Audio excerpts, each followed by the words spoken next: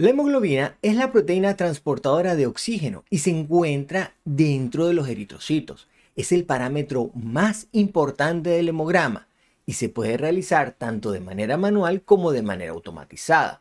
De manera manual, el método de la cianomethemoglobina es el método recomendado y el de mayor uso. Acompáñame en este video que te voy a mostrar cómo realizar el procedimiento manual como todo un profesional del laboratorio de hematología, con todos los trucos y los errores comunes que debes evitar.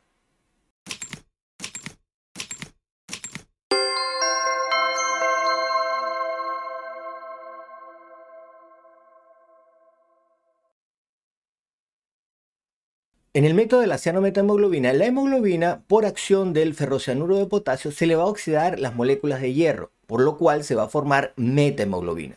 Luego, por acción del cianuro de potasio, se va a formar el cianuro de metahemoglobina, que es lo que conocemos como la cianometahemoglobina. Un compuesto estable de la hemoglobina, a partir del cual podemos obtener la concentración de hemoglobina en la muestra del paciente. Para ello vamos a emplear un reactivo que se llama el reactivo de Drapkin que contiene justamente el ferrocianuro de potasio y el cianuro de potasio. Este reactivo lo vamos a dispensar en un tubo, le vamos a agregar la muestra. Aquí se suele emplear una dilución de 1 eh, en 251, algunos emplean 1 en 201, pero son las diluciones usuales. Esto va a permitir justamente que se rompan los eritrocitos y se libere la hemoglobina para que pueda ocurrir esta reacción eh, química vamos a obtener que se va a formar finalmente la cianometemoglobina que podemos medir espectrofotométricamente y la absorbancia medida será proporcional a la concentración de hemoglobina en el paciente. En el método de la cianometemoglobina, este compuesto sumamente estable va a medir casi todas las formas de hemoglobina, la oxihemoglobina, la carboxihemoglobina, la metemoglobina, salvo la sulfohemoglobina, que suele estar en una baja proporción en determinados casos, en determinados trastornos puede estar aumentado, pero bueno, existen metodologías especiales para su determinación. Pero en líneas generales es satisfactoria la medición de todas las formas bajo el método de la cianometemoglobina.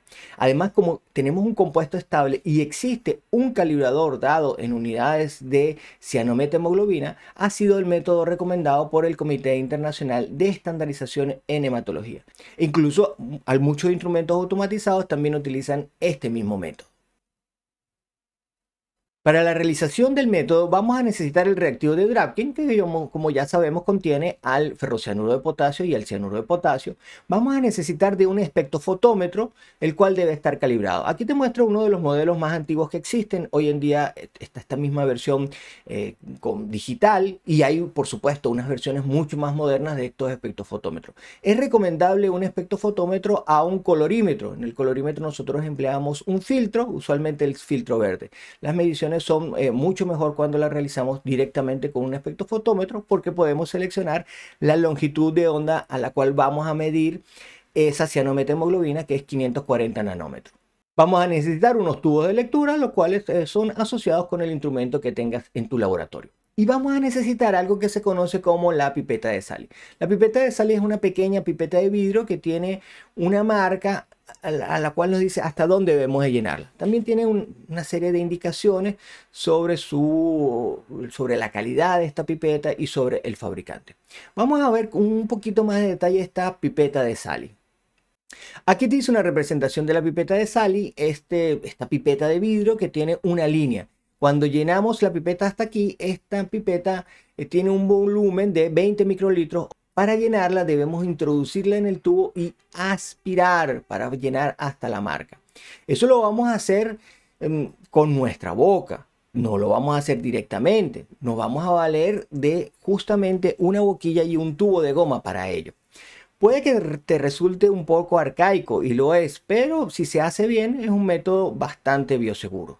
Vamos a necesitar una boquilla, que es un dispositivo plástico que nos vamos a colocar en la boca. Y generalmente, o, los dispositivos buenos también tienen un, dispositivo de goma que facilita mucho el poder intercambiar diferentes pipetas de sal. Porque para cada muestra y el control necesitamos una pipeta de sal distinta. Porque cada vez que la usamos, la pipeta se contamina y luego debe ser lavada. Entre esta pipeta de sal y nuestra boca se va a encontrar un tubo de goma.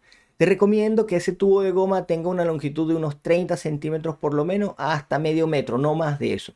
Justamente esto nos va a dar una, una distancia de seguridad, si se quiere decir así, y también nos va a permitir mm, realizar bien el, llenado de la pipeta y verificar que hemos llenado bien esa pipeta. Vamos a necesitar también unos tubos de 13 por 100 milímetros una gradilla para colocar todos estos tubos, una pipeta de 5 mililitros con la cual vamos a tomar el reactivo de Drapkin, un reloj para llevar el tiempo porque esto se debe incubar unos 10 minutos. La gasa es el material adecuado para realizar la limpieza de la pipeta de sal. No debe emplearse algodón. También vamos a necesitar la muestra de sangre total y por supuesto un control para esta realización de la hemoglobina.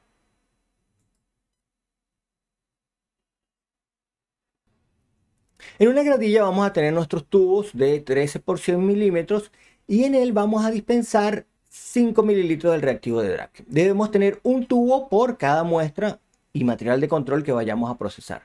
También vamos a tener un tubo en el cual simplemente vamos a agregar el reactivo y lo vamos a marcar como el tubo blanco. Aquí te voy a hacer la demostración para un solo tubo, para no enredarnos tanto.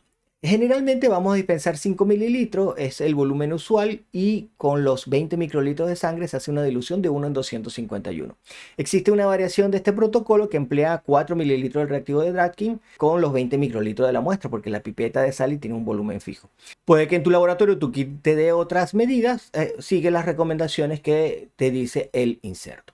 Una de las cosas que debemos hacer en hematología siempre es asegurar la homogeneidad de esa muestra y debemos entonces proceder a mezclarla. La vas a tomar por, por la tapa del tubo y vas a realizar una inversión de 180 grados y luego vamos a regresar a la posición inicial. Esto es lo que conocemos como una inversión completa y lo debes realizar un mínimo de 8 veces para asegurar el correcto mezclado de esa muestra. Vamos a colocar esta muestra eh, aquí al lado. Vamos a proceder a destapar esa muestra y ahora vamos a emplear la pipeta de sal. Por supuesto, necesitamos nuestro tubo de goma con la boquilla. Vamos a llevar la pipeta al tubo, la vamos a introducir bastante como a, como a mitad del tubo. Generalmente nosotros vamos a levantar el tubo y lo vamos a colocar más o menos a la altura de nuestros ojos para asegurar que hemos introducido bien la pipeta. Una vez que tenemos la pipeta dentro, vamos a proceder a aspirar y de esta manera vamos a llenar la pipeta con estos 0.02 mililitros. Lo vamos a aspirar y vamos a aspirar hasta que llegue a esta línea azul que indica los 20 microlitros. Luego vamos a proceder a sacar la pipeta del tubo y la vamos a, a colocar en forma horizontal. Una vez que tenemos la pipeta de sal en posición horizontal, vamos a corroborar que efectivamente hemos llegado hasta la línea de los 20 microlitros. Otra cosa que debemos hacer es que en la pipeta van a quedar restos de sangre y ese resto de sangre hay que eliminarlo, porque si no, cuando vayamos a hacer la medición vamos a tener una sobrevaloración de la hemoglobina en ese paciente. Para ello nos vamos a valer de una gasa Vamos a cubrir toda esta pipeta de sal y con esa grasa y vamos a proceder a realizar una limpieza. Simplemente vamos a limpiar el exterior de la pipeta. Una de las cosas que pueden ocurrir aquí es que hayas sobrellenado la pipeta de sal, es decir, que hayas superado esta línea de los 20 microlitros. Para solucionar este problema es muy sencillo en primer lugar, no se te ocurra soplar porque vas a, perder todo el volumen que tienes aquí. La manera correcta de hacerlo es con una gasa. Vamos a poner esa gasa, vamos a tocarla sobre la punta de la pipeta de sal. De esta manera, al tocar la punta de la pipeta de sal, justamente se va a desplazar el volumen y va a salir ese exceso. Vamos a ir tocándolo poquito a poco, ligeramente, poco a poco, hasta lograr llegar a la marca de los 20 microlitros. Si te pasas, bueno, vas a tener que descartar esta sangre y volver a proceder a realizar las inversiones completas y a volver a tomar el volumen con la pipeta de sal. No hay manera de recuperarse en ese caso. Otra de las cosas que eh, nos pueden ocurrir es que nos queden burbujas o espacios eh, de aire dentro de la pipeta de sal. Esto generalmente se da cuando las pipetas de sal no, no están muy limpias o hemos aspirado muy hacia la parte superior del tubo y hemos tomado aire eh, con sangre. Por supuesto aquí hay una medición de hemoglobina que no va a ser la correcta porque vamos a tener menos cantidad de hemoglobina de la que realmente tiene ese paciente. Esto es un error que se soluciona descartando esto, volviendo a mezclar y volviendo a rellenar la pipeta de sal.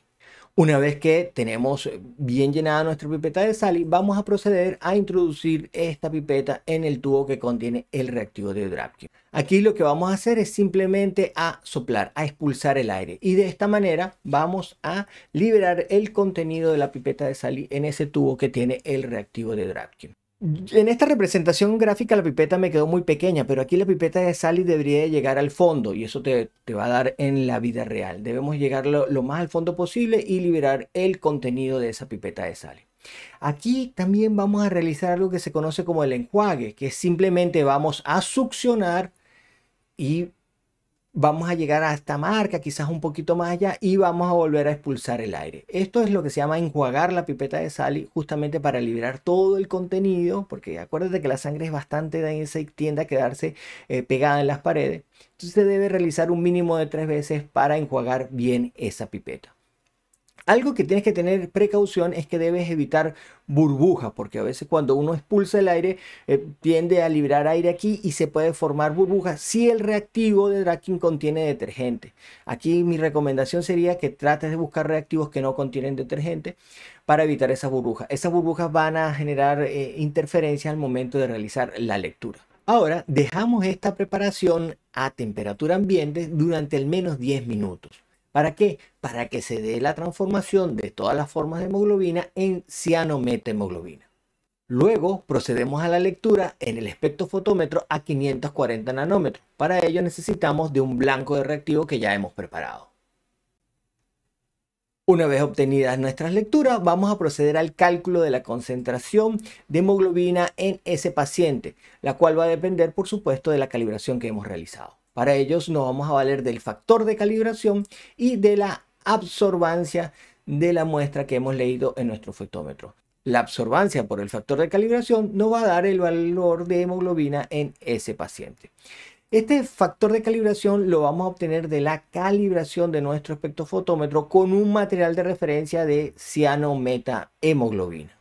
Luego hablaremos sobre esta calibración. Suscríbete y activa la campana para que YouTube te avise cuando tenga listo este video de calibración del Spectronic para la medición de hemoglobina.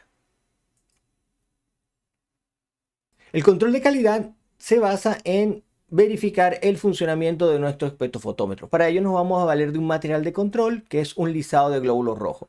Un preparado estabilizado de esa de esos glóbulos rojos para tener a esa hemoglobina. Generalmente ese material es bastante estable en el tiempo. Aquí debo destacar que debemos emplear una pipeta de sal por cada muestra y en particular cuando empleamos el control. Como estos son materiales estabilizados, tienen una densidad bastante elevada y hay que ser bien precavido y limpiar bien esas pipetas de sal. Yo te recomendaría que cuando estés realizando la medición tengas una bandeja de descarte con una agua jabonosa y vayas eh, colocando allí las pipetas de sal una vez que las has empleado para que facilitar su limpieza. Este material de control le podemos aplicar las prácticas usuales que tenemos para todo material de control, es decir, podemos emplear gráficos y reglas de control. Generalmente se emplea un nivel, aunque lo ideal sería emplear al menos dos niveles de control. El reporte es muy sencillo y lo vas a realizar en las unidades que se emplean normalmente en tu país. Una de las más comunes es en gramos de cilitro. En este caso vamos a reportar con un decimal. Para nuestro ejemplo sería 12,6 gramos de cilitro. Es importante que emplees de manera inicial la que se utiliza habitualmente en tu entorno geográfico. El Comité Internacional de Estandarización en Hematología ha propuesto que la eh, unidad internacional sean los gramos litros. De esta manera mm, la equivalencia es, bastante sencilla y en vez de ser 12,6 es 126 gramos litros. El gramos litro facilita mucho después los cálculos para la obtención de los índices hematimétricos. Esa es quizás una de sus grandes ventajas. La medición de la hemoglobina manual la vamos a realizar con el método de la cianometahemoglobina, el cual es un método accesible y sencillo. Es un método confiable si realizamos una adecuada calibración y control de nuestro fotómetro. Si te es imposible hacerlo bien, es mejor que no lo hagas y el paciente acuda a un centro que tenga las capacidades para realizar una adecuada medición de hemoglobina. Si este video te aportó, dale un like. Si crees que le puede ser de ayuda a un colega, compártelo. Y espero en los comentarios cualquier duda o aporte. Saludos. Y por acá te dejo la continuación de esta serie de procedimientos del hemograma manual con la medición del hematocrito. Y otro video que el algoritmo te sugiere.